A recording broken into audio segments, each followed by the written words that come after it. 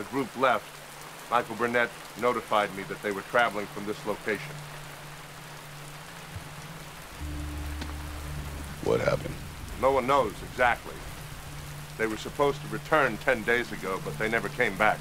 I requested help from the embassy, but they can't help. Not in Burma, and not in time. How do you know they're alive? Because we've been in contact with the Karen freedom fighters who say they think they know where they were taken.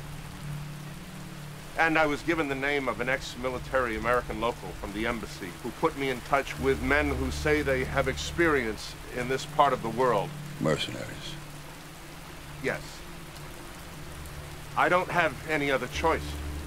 You know the exact spot. We need you to take these men to where you let our people off. When are they ready to leave?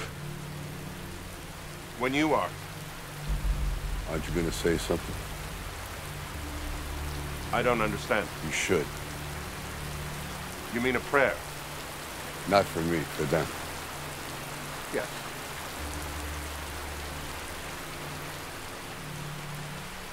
Lord, make me your instrument of peace.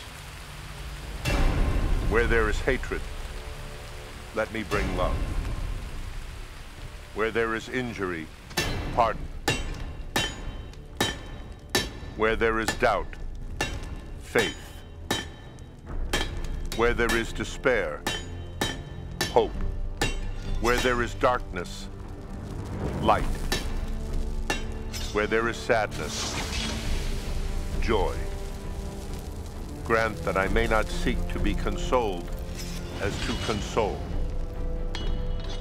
to be understood as to understand, to be loved as to love.